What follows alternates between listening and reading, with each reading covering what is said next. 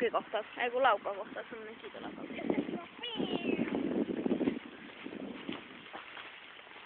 Tässä Ehkä